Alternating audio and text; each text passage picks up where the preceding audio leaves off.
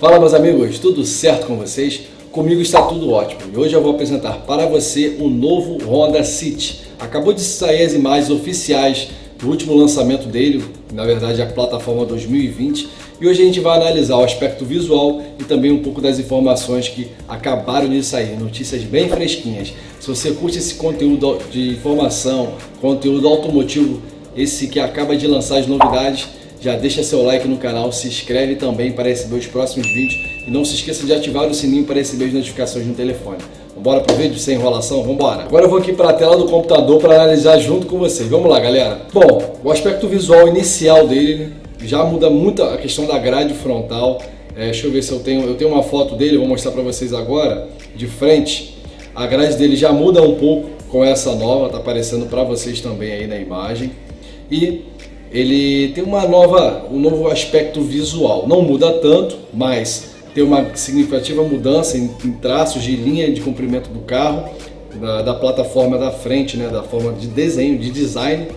Já para a gente vai pular para a parte da imagem interna, é, não sei se mudou tanto, né, galera? Não sei se chega a dar um destaque tão grande, mas continua sendo bonito, um visual bonito para o que é o Honda City interno. Tá bem acabado, bem robusto Lembrando que essa aqui é uma foto lá de lançamento, eu não tenho uma foto ainda que a gente possa olhar com outros detalhes. De, mais uma foto de frente que você vê que ele tem umas linhas bem modernas, com esse LED que acompanha a grade, a grade principal, que é a grade, a grade diamantada, né? a grade de metal ali, metalizada. Então o LED bem que brilha, continuando, fica bem legal. Ele parece até um mini acorde, eu posso até mostrar para vocês uma imagem de um acorde. Aqui mais uma foto de frente, Vou passar aqui para uma foto agora mais de lado e a gente vê a principal novidade que eu acho que o City vai vir. Ele tem uma cara muito imponente, uma cara muito de carro agressivo, de carro grande e combina muito bem as linhas do carro, o contorno do carro. Vamos reparar comigo. Olha o farol onde está o LED, aquela parte que está brilhando aqui na imagem ele segue a, a, a, linha do carro e vai até o LED da, da lanterna traseira. Olha que design legal, bem desenhado o carro. Já na parte traseira a gente tem outra noção, ele tirou aquele friso da tampa da mala que seguia as lanternas, ele tirou, acabou isso. Eu acho que deu uma rejuvenescida nessa tampa da mala. Os detalhes da lanterna eu achei lindo demais, eu achei que ficou muito bonito. É a cara da Honda agora fazer essas lanternas mais com LEDs, mais desenhadas, ficou bem legal. Aqui é o carro de frente com um farol, acho que aqui no caso é a lanterna e o farol baixo aceso. Ficou bem interessante nessa cor branca, dá pra gente destacar o carro. Dá para você ver agora nessa foto, você consegue ver aquele LED de cima bem desenhado junto à carroceria do carro. Bem interessante, né? O que, que você acha disso? O que, que você está achando desse novo modelo Honda City? Comenta aqui embaixo o que você achou, se você compraria um desse, se tem um amigo que compraria um desse, se você tem um antigo e quer trocar por esse, e já já vou explicar para você quando chega no Brasil. Aqui são as fotos dele em vermelho, para a gente ter uma noção também, ó, o LED brilhando, como é que fica. E aqui estou passando as fotos mais rápido para a gente acelerar. E essa parte traseira ficou muito linda com a carroceria vermelha. O que, que você acha? Comenta aqui embaixo.